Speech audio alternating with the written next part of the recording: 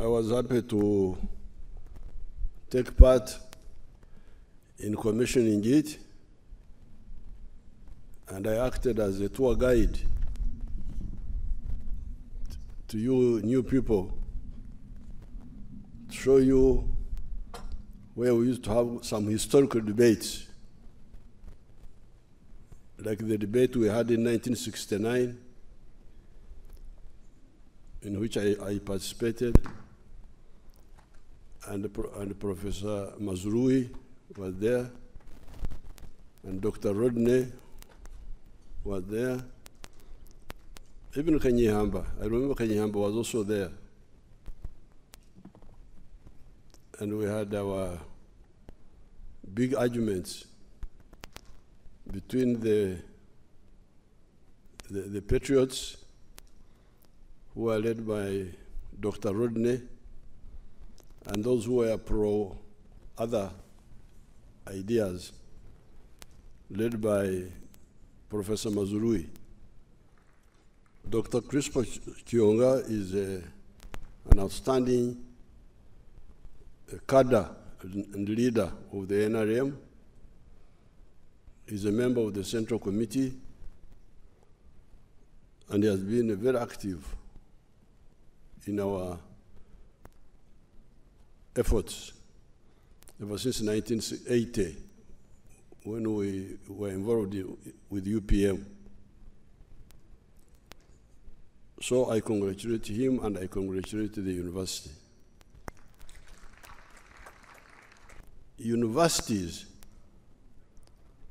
including Makerere, are centers of knowledge.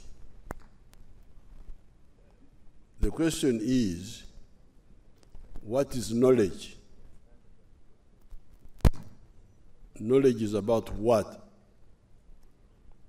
Part of the problem of Africa has been the confusion on this idea. What is knowledge? On the, on, the, on the side of natural sciences, these universities, like the ones in Africa, have been doing some work. But I want to you to audit. How are you doing it?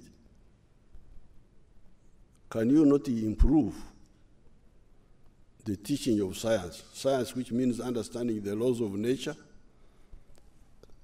and, and using them to solve problems.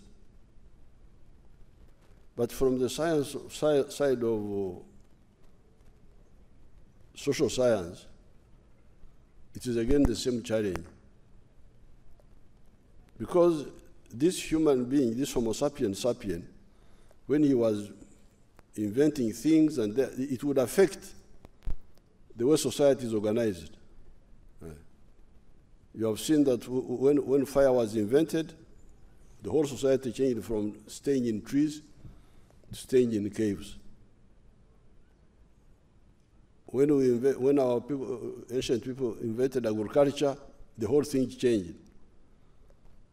In the hunter gather, gathering times, the, the, the, hunter was very important because he, he, he could, he's the one who was feeding the family. But now, with the crops, the one who could cultivate was more, became very important, and who could domesticate uh, animals. So every change in the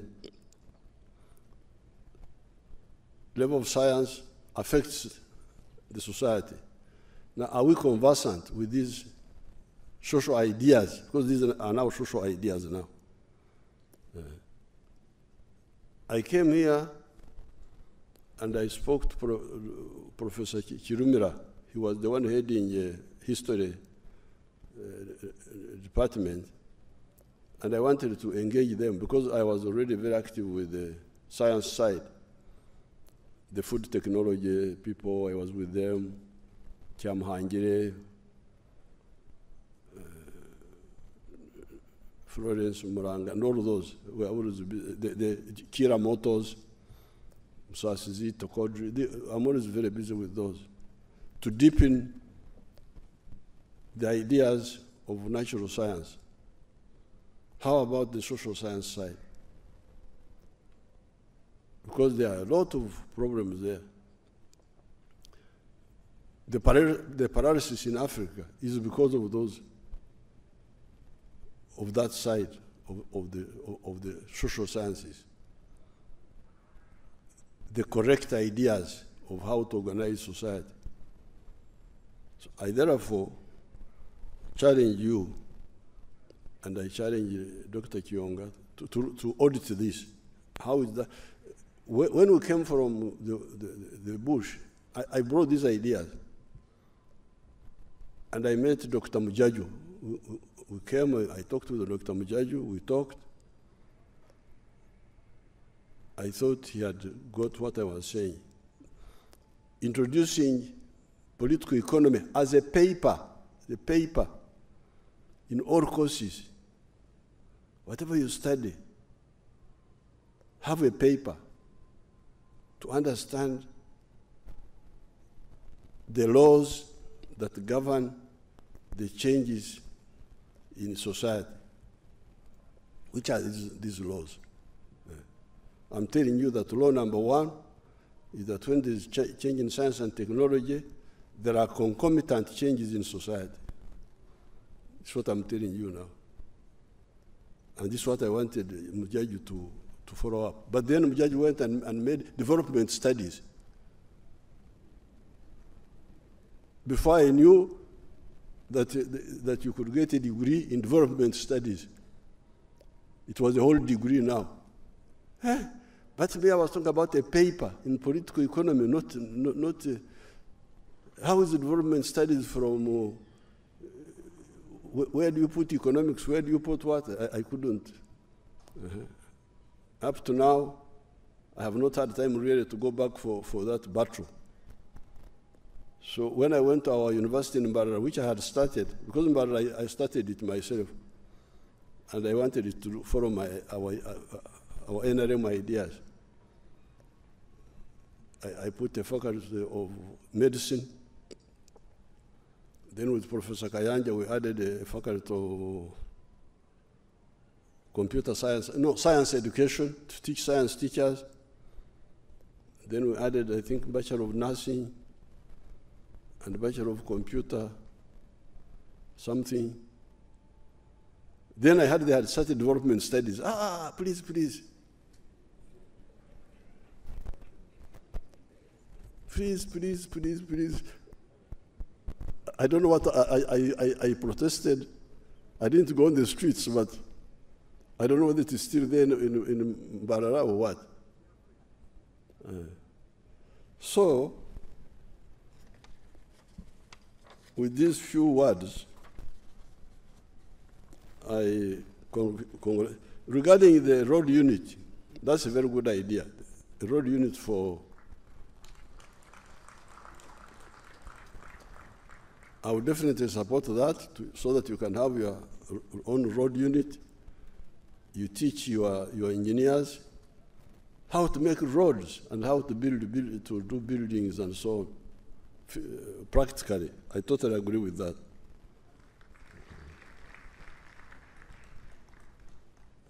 Coming to talk to the students, I will be very happy. Oh, I like talking. If you invite me,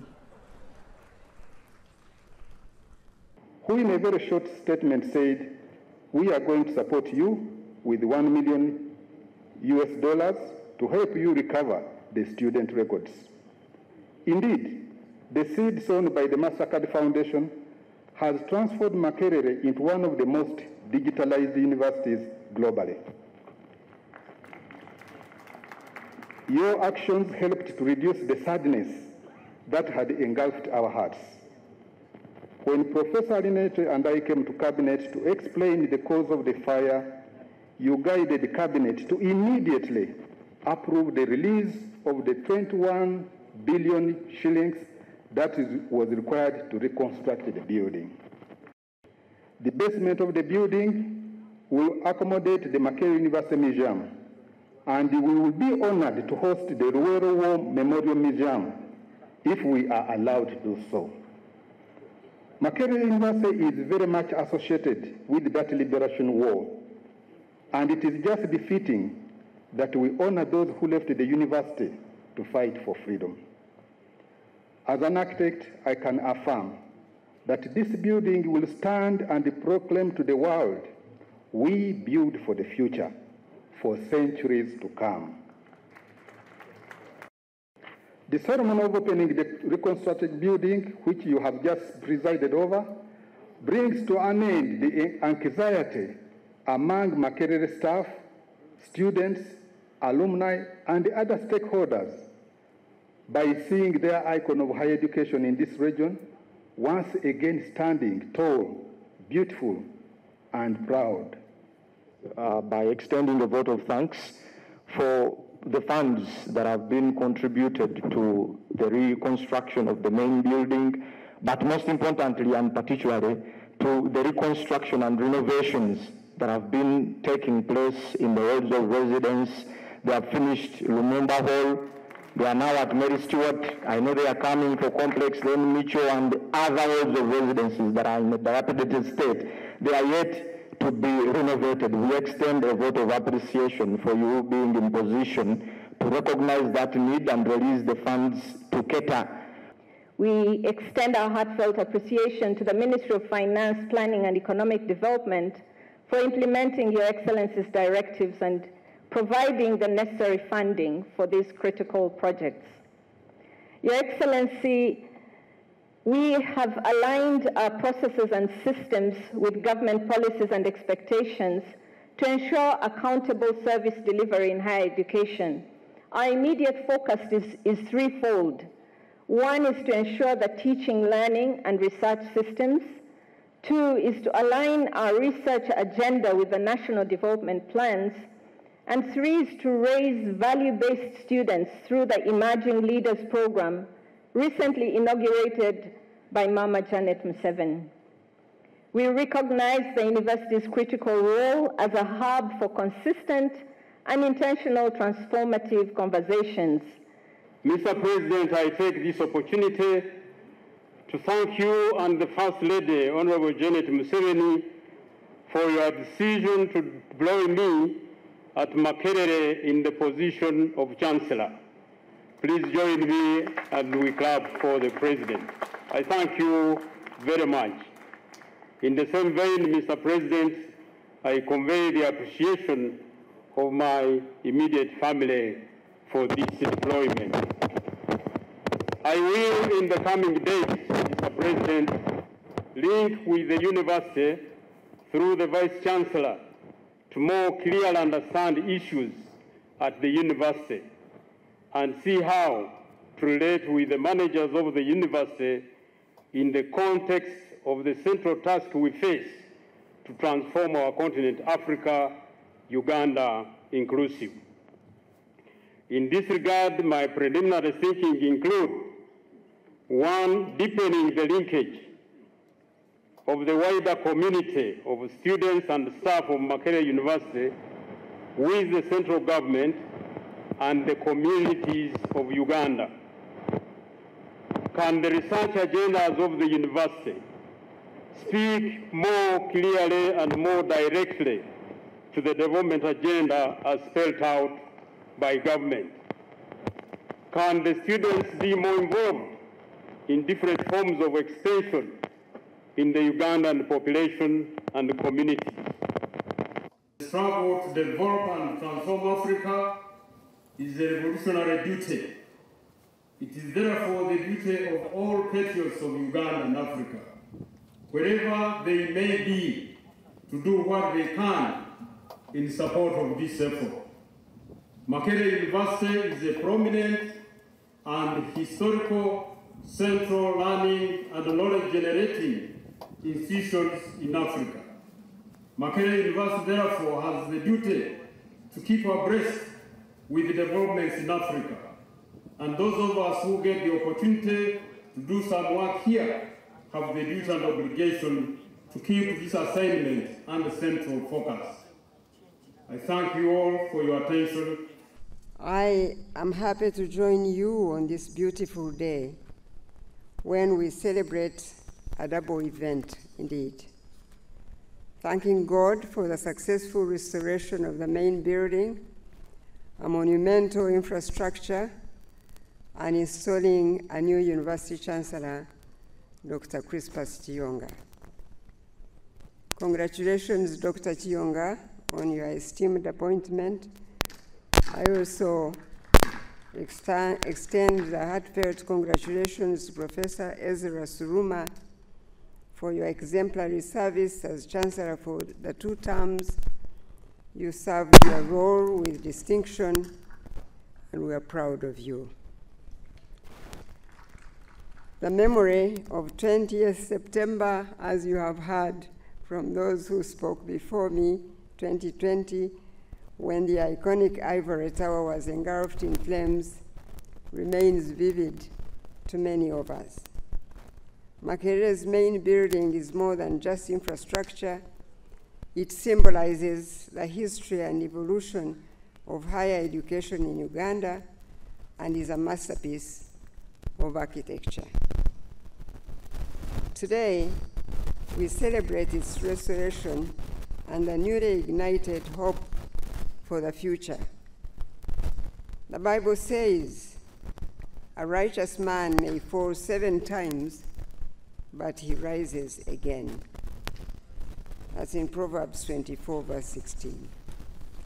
The restoration of main building symbolizes the rising again of Makerere University, I believe. Makerere will once again produce national, continental, and world leaders, men and women, trained and equipped with knowledge and skill passionate, selfless, and willing to pay the price to see their communities transformed. Africa, they want to see Africa united, economically independent, and developing. It is my prayer that Makerere will continue to play a pivotal role in future generations.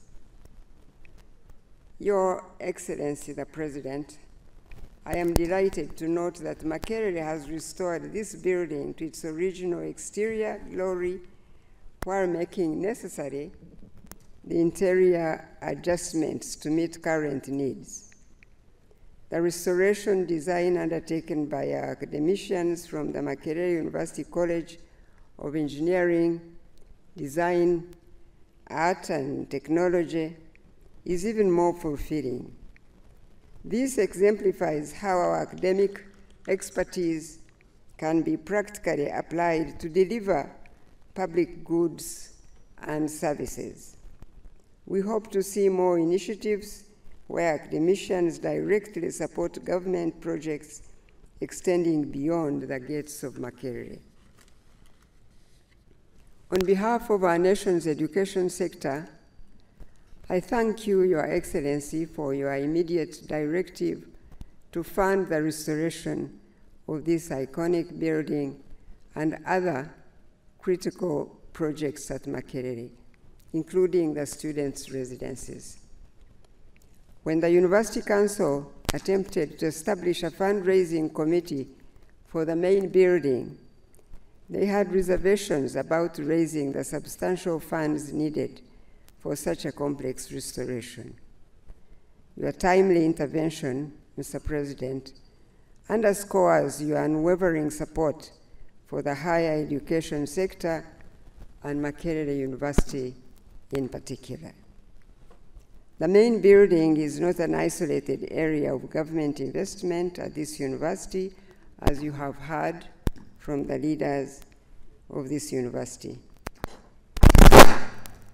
we were supposed to commission the School of Law building this morning and the refurbished Lumumba Hall, which means they are done, they are ready and uh, waiting for commissioning. Other government funded projects include the ongoing renovation of Mary Stuart Hall, the construction of the School of Dentistry, the perimeter wall, as you have heard already from the Vice Chancellor uh, before me. And improvements at the University Hospital, including setting up an operating theater and ICU. We have moved beyond the past when our partners in development funded all major infrastructure projects at this university and others. With improved economic performance, our government can and will continue to take up these responsibilities incrementally. Yes, but also, as the Minister of Education and Sports, I'd be even more proud to know that Makerere and other public universities has some good investment in an endowment fund, which gives you more freedom to fulfill your plans, and I can't wait for that day when I, hear that good news. Ladies and gentlemen, I'm delighted to highlight that, that alongside our investments in infrastructure, the government has also prioritized other critical operational aspects of the university. A key area of focus is research funding, which was previously reliant on our partners. The reliance on donor funding also meant that we had limited control over the research agenda often resulting in studies that did not address our local needs. Establishing the Research and Innovation Fund bridges that gap now and ensures that our research efforts yield outcomes that drive economic growth and social transformation.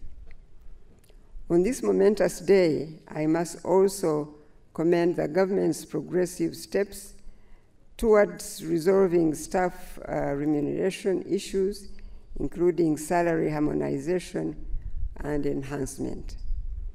This fiscal year, the government has fully funded salary harmonization across all public universities and remains committed to further salary enhancements as economic conditions